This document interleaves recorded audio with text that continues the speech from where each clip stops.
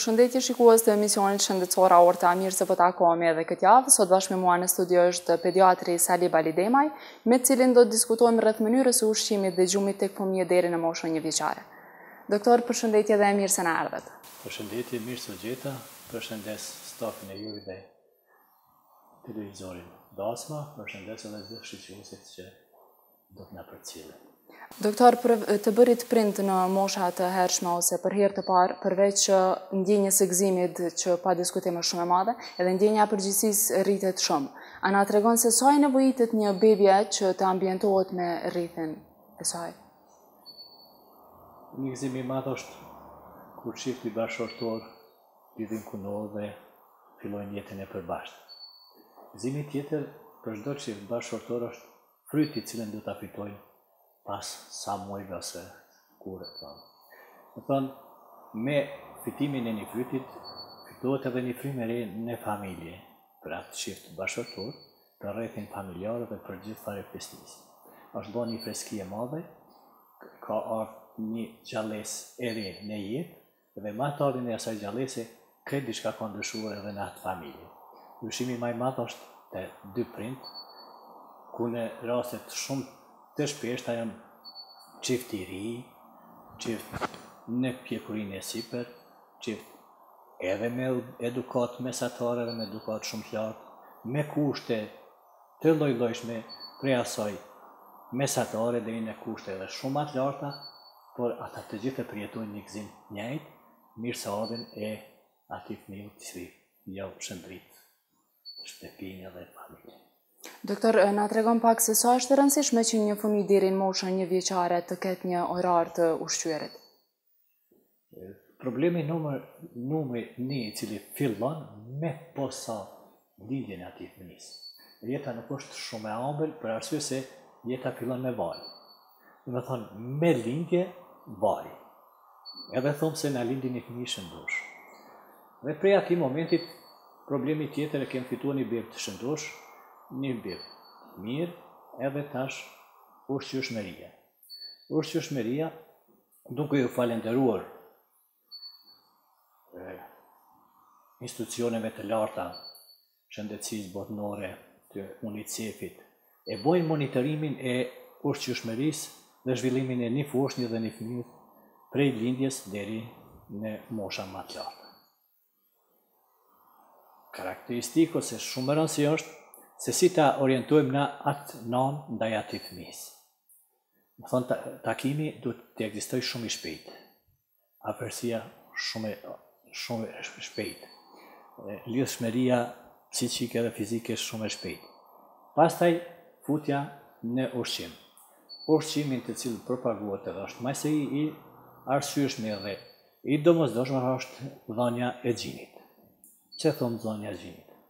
Për arsye se gjini, qumështi i gjinit është qumështi ma i përshtatshëm për atë foshnjë e cila ka lindë edhe i nevojitet për për zhvillim normal psiqik dhe fizik. Qumështi I gjinit, nanës, e mbron nga shumë faktorë. Ia rrit imunitetin, autotrupthat, e mbron nga të ftohtit, nga çrregullimet e traktit digjestiv, nga çrregullimet e ndryshme edhe kem një fëmijë shumë ma të shëndetshëm dhe ma të mirë se sa ushqyeshmëria tjetër. Preferohet që ushqyeshmëria në gji të fillojë që ditën e parë edhe gjashtë muajt e parë të shkohet vetëm me gjidhënie. Domethënë nuk ka asnjë shtesë tjetër preparatit, përpos gjidhënies, edhe çka bëhet profilaksë jepen edhe Pikat për forcimin e sistemit kockor ose pikat AD. Po shpesh herë, doktor, nënat e reja edhe jau ndërpresin gjidhënien fëmijëve të tyre, në moshë, domethonë, qysh në ditët e para, për arsye prej ma të ndryshmeve.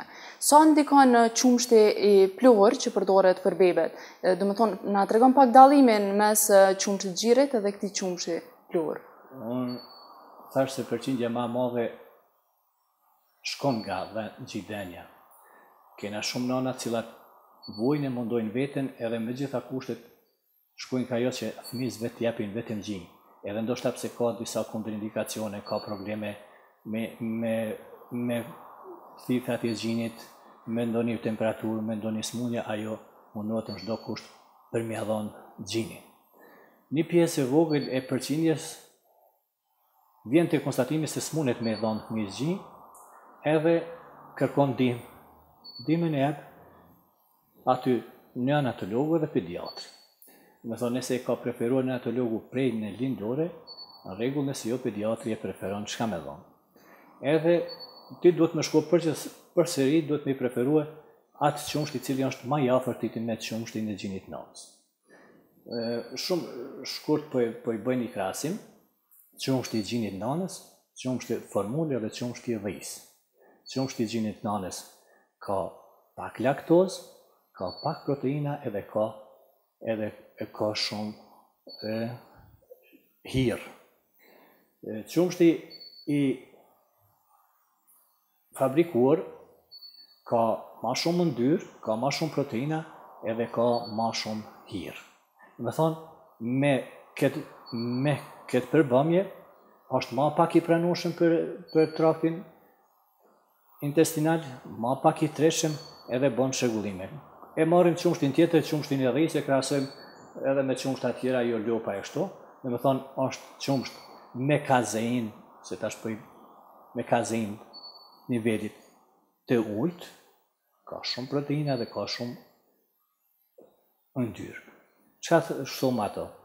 Është ushqim i papërshtatshëm për fëminë në moshën fillestare ose pas lindjes, sepse numri i tepruar i proteinave dhe i laktozës e ngarkon sistemin e traktit urinor i cili nuk është në gjendje me i përballu me i tretë. Pra, nëse një nanë ka vendosë ose smunet për kushte të ndryshme me i dhënë fëmijës gjinë, preferojmë formulat të cilat janë ma të afërta me qumështin e gjinit. Po, doktor, shpesh edhe nënat e reja, ndoshta edhe nga mosdija, kur fëmiu i tyre nuk është i uritur edhe nuk e kërkon qumështin qoftë ose ushqimin, mbasi që rritet pak, ato tentojnë edhe në mënyrë me zor me jau dhonë. Sa i ndikon, sa, sa i bën dëm ky ushqim fëmijës? Ka çrregullime edhe ka këshila të cilat çifti i ri shumë lehtë i pranon edhe prej rrethit familjar edhe prej të tjerëve të cilat Nuk janë shumë profesionale, por gjithmonë shkohet se unë i kom pa ba kështu, unë i kom pa dhanë kështu, unë e kisha ba kështu, edhe munet me ra prej e atyne gjanave edhe nana e re. Çdo nanë e cila e man fëmijën në gjinë, nuk munet me thonë se e ka gjinin e dobët, se e ka gjinin ujë, edhe nuk ka mjaft. pa u vërtetuar në bazë të peshës, zhvillimit e ashtu. Nëse një nanë bën një gabim edhe thotë fëmiu im nuk po pin, s'po pin sa duhet, nuk po çohet prej gjumit me pi, edhe tenton m'i dhonë një ushqim tjetër plotësues, e bën një gabim shumë të randë edhe pa nevojshëm për atë fëmijë për arsye se e ka me torturue pa nevojë. A ndikon kjo mënyrë e të ushqyerit më vonë që ai fëmijë të jetë edhe në mbipeshë? Tash nëse nëse shkon vetëm me gjidhanje nuk sa do zhvillohet ai fëmijë, kem fëmijë si zhvillohet Edhe pse pin shumë, po. ka gjenetikën, trashëgiminë po. i ka ato, nuk fiton peshë sa ndoshta sa një tjetër i cili ka e dyfishon peshën, trefishon peshën dhe bëhet shumë, asnjëherë nuk i them se ai fëmijë është i trashë. Për arsye se është i rritur natyral, është i rritur nga qumështi i nënës, edhe ai fëmijë Për çdo pediatër është i shëndoshë. Fëmiu tjetër i cili ka pretenduar m'i dhanë se nuk po fiton peshë, nuk nuk po zhvillohet sa duhet, nuk po don me pi, nuk e kam sa atë fëmiun e atij ku e sheh aty se atij na iu ka rrit kështu ose fëmiu i vllait pretendon me zor m'e rrit bën çrregullime edhe në fëmijë, bën çrregullime edhe në vetë familje, edhe mundet me ardh ajo që ai fëmijë të jetë i detyruar të marrë shujtat të padëshirueshme edhe të fillojmë me mbipeshë, kur pas disa mujve fitojmë tjetër reaksion thotë, si është e mujtune me ja nal mos m'i dhanë me pi se shumë o kah do me fituar. Tash, kush është në n'atë sistem, domethënë bëhen disa gabime te një përqindje e vogël. Po, doktor, sipas përvojës suaj, a na tregon pak se prindërit në përgjithësi prindit e rinj, sa i kushtojnë rëndësi mënyrës së ushqimit edhe orarit që duhet të ketë fëmija deri n'këtë deri n'vitin e parë, domethënë, 12 muajsh? Te rëndësia e dhanies në gji te çifti i ri. Nënës asaj nëne, ajo është e interesume të zgjedhë rrugën më të mirë duhun për m'i dhënë atij fëmisë. E zgjedhja e rrugës së duhur është se nuk as na nuk i thomë e pi kaq, e pi gjashtë herë, e pi shtatë herë, e pi tetë herë, por i tregojmë se Një gjidhënie në mujt e parë është mjaft shtatë shujta ose tetë shujta mrena njëzet e katër orëve. Me një orar, dy orë e pesëmbëdhjetë, dy orë e gjysë, tri orë, varet prej fëmisë. Por është e drejta edhe e nanës edhe atij edhe atij fëmijët që ndoshta kërkon edhe ma shpesh Edhe ma nga pak edhe ka drejt dy rrugë me i dhanë sa herë si një mëmenja se është unë edhe me ba një orar. Asnjëra nuk është e gabushme. Po, doktor, e dim rastet shumë ta prej farmacistve, domethonë nëpër farmacitë tona, kur ka nëna që shkojnë edhe kërkojnë vitamina për m'i ushqy fëmitë, domethonë me kërkojnë, M'ju dhanë ma shumë me hangër. Edhe është çështja se sa e ndikon këto vitamina në moshë të hershme, domethonë vitin e parë tyre, edhe a mund, a guxojnë m'i marrë ato pa recetë mjekut. Sa i përket stimulimit, për të'm stimulimin po. me anë të vitaminave, ndonjëherë na kemë faj edhe na vetë pediatrat ose neonatolog, cilët nga lindorja na përcillen me disa vitamina. Por dihet kur, kur jepen vitaminat, vitaminat jepen te një, te një foshnje posalindune me një peshë shumë të ulët, me lindje parakohe, ku i karakterizojmë se disa mungesa janë edhe aty, do të mundohem me kompletuar. Por kërkesa ma madhe e shumë nanave është fmiu asgjë s'po më shtin n'gojë.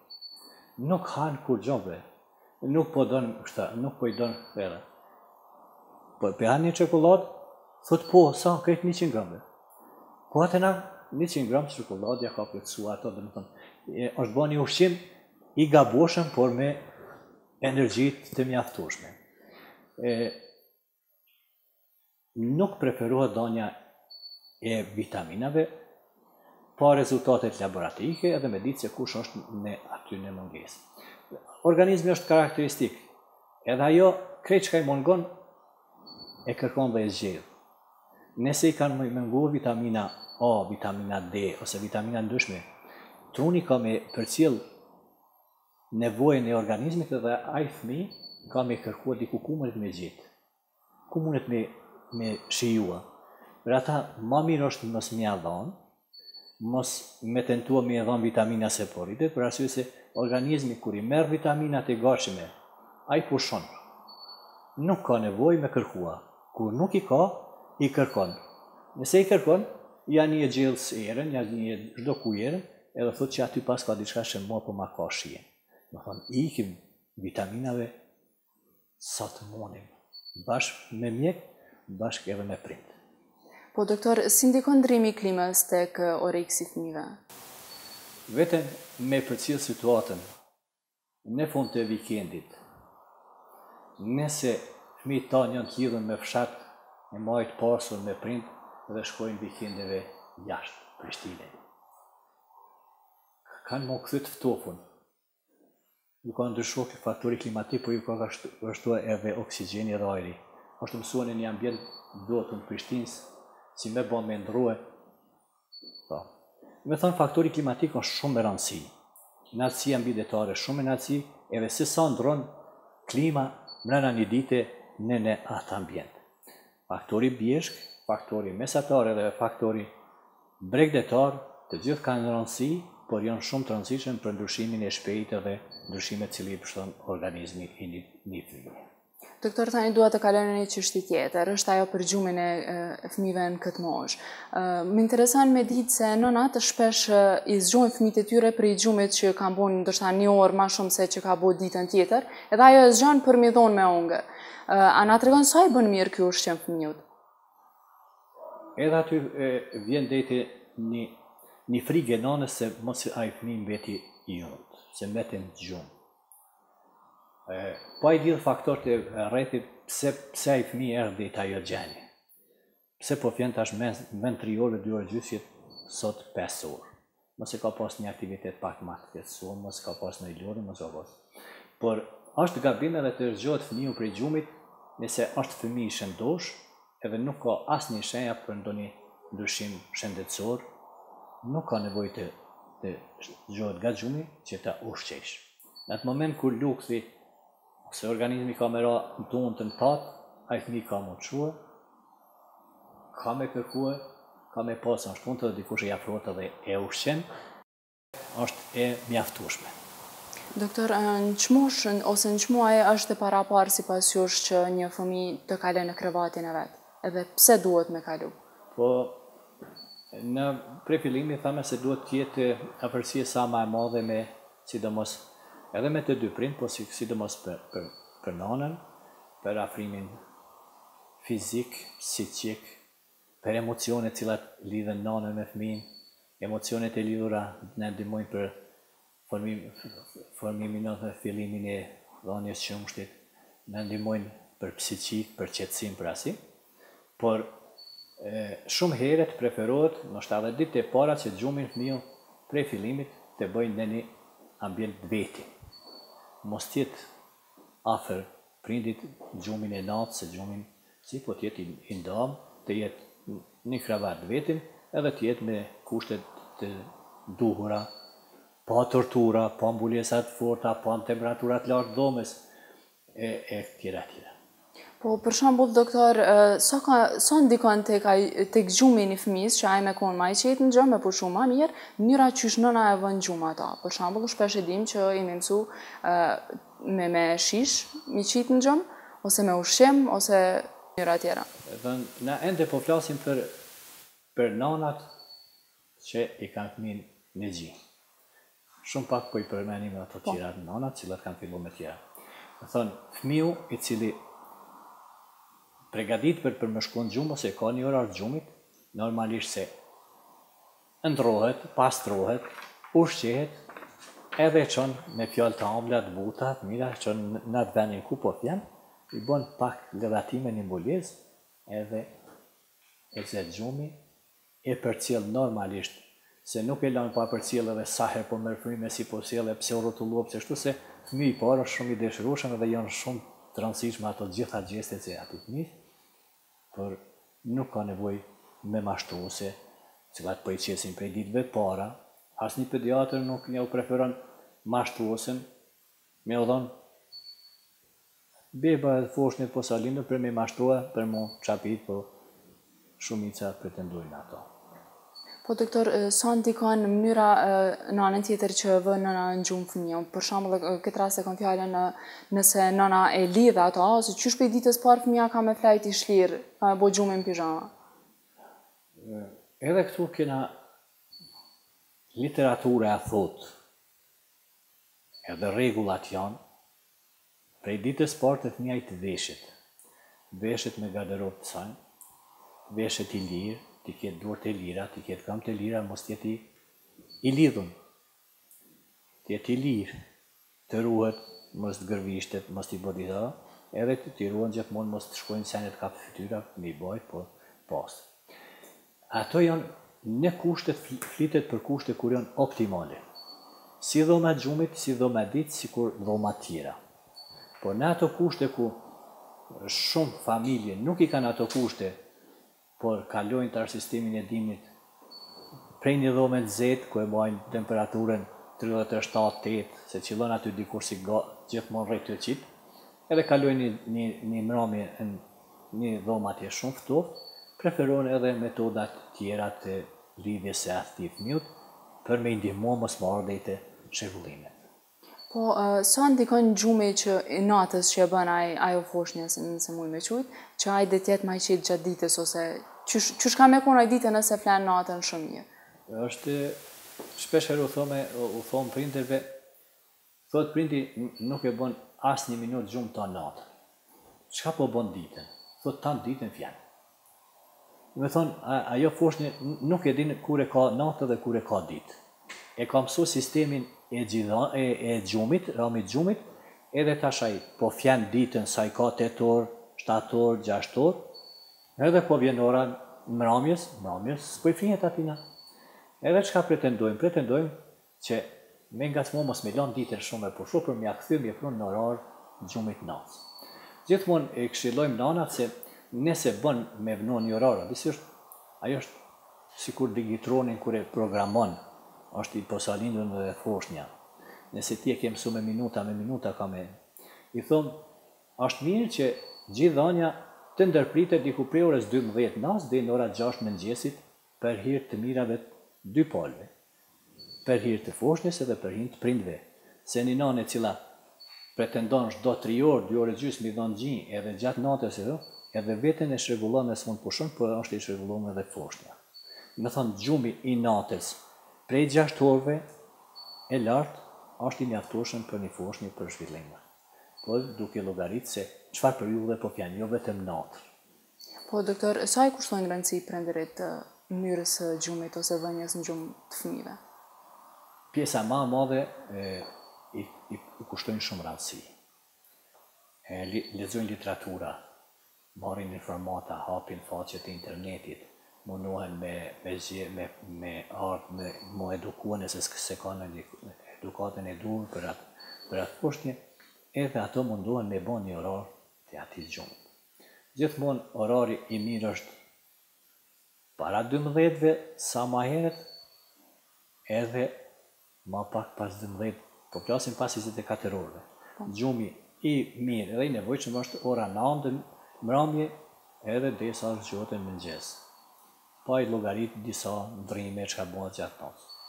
Ajo është koha ma, ma e përshtatshme e pushimit edhe Te fëmijët edhe të rriturve, por llogaritet që ai fëmijë të ketë edhe një trajtman tjetër gjatë ditës, disa orë ose pak orë të shkojnë në pushim edhe gjatë ditës një herë ose dy herë ditë. Edhe gjumi, pushimi ditor i një porsa lindurit ndryshon njëri me tjetrin.